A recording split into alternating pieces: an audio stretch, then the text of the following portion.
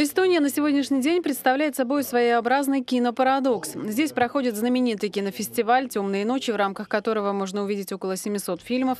В этом году «Пев» перешел в категорию А, что ставит его в один ряд с Канским, Берлинским, Венецианским и другими престижными фестивалями.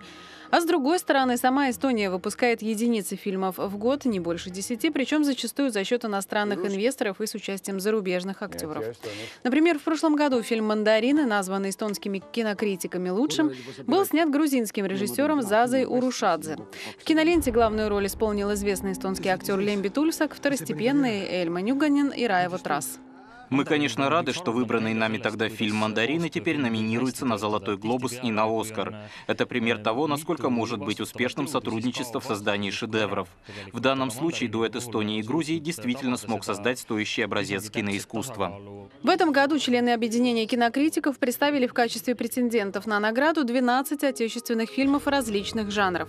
По итогам голосования было отобрано 5 номинантов. На приз «Дева Мали» в этом году претендовали «Вишневый табак Андре Андерса и Катрин Маймик, летчики направляются домой Прита и Ольги Пярн, пейзаж в многолуние Яна Томика, Я не вернусь Ильмара Рага и боковой ветер Марти Хельде.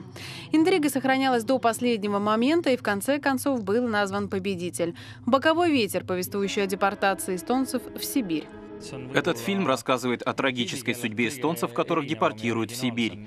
Но помимо темы здесь еще несколько важных вещей. Скажу от себя, мне кажется, что художественные средства выражения, найденные Марти Хельда, действительно являются находкой и показывают высокий уровень. Кстати, это один из тех фильмов, созданных исключительно эстонской командой, так что будущее у нашего кинематографа, безусловно, есть.